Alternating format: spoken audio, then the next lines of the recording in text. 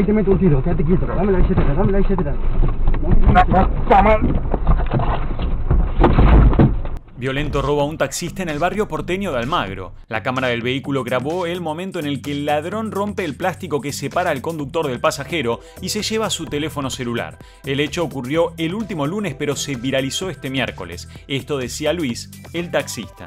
La verdad que la impotencia es muy grande porque uno sale para hacer dos pesos para llevar a casa y te termina robando un celular que después tenés que comprar y te sale 20, 30 mil pesos, ¿no? Es una locura.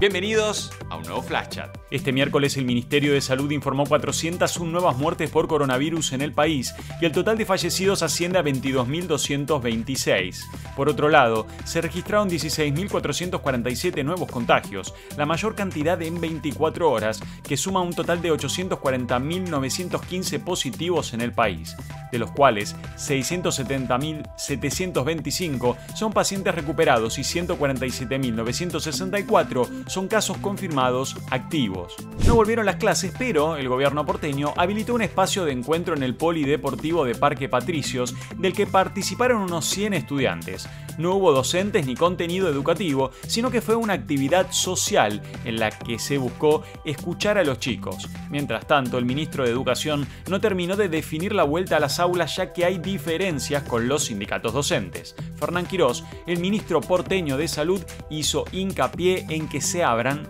las aulas. Tenemos eh, una fuerte convicción de que eh, no podemos esperar a que la epidemiología de la ciudad esté suficientemente corregida para abrir todas las aulas para todos los niños al mismo tiempo. Eso todavía falta, serán días, semanas o meses. El jefe de gabinete, Santiago Cafiero, dio su informe ante el Senado y tildó a la oposición de terraplanista. Yo creo que la oposición si no baja los decibeles, si no deja y se aleja del discurso del odio, va, camino a convertirse en una derecha, en una ultraderecha antidemocrática y una ultraderecha minoritaria.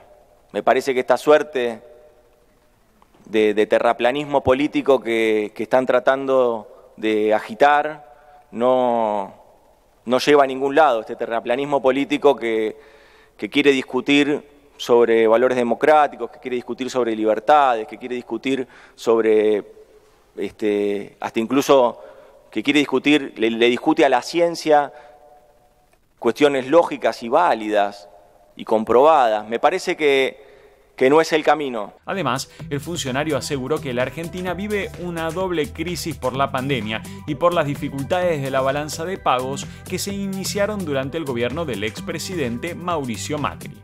La actividad industrial bajó un 7,1% en agosto, en relación con igual mes del año pasado y cayó 0,9% en comparación con julio de 2020. Según informó este miércoles el INDEC, de esta manera se rompió la tendencia positiva de los tres meses anteriores, en los que venía creciendo. En tanto, la construcción retrocedió un 17,7% en términos interanuales. Por otro lado, el dólar blue alcanzó un nuevo récord y llegó a los 155p.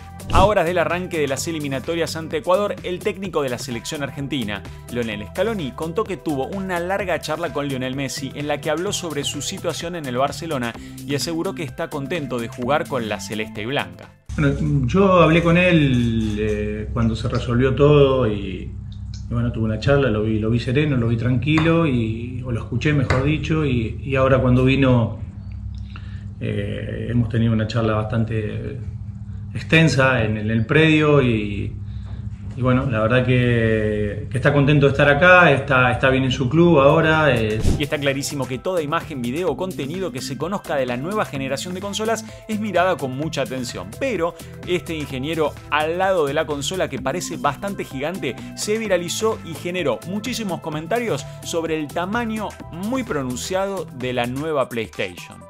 Hubo memes y chistes de todo tipo, pero hablando en serio, es enorme.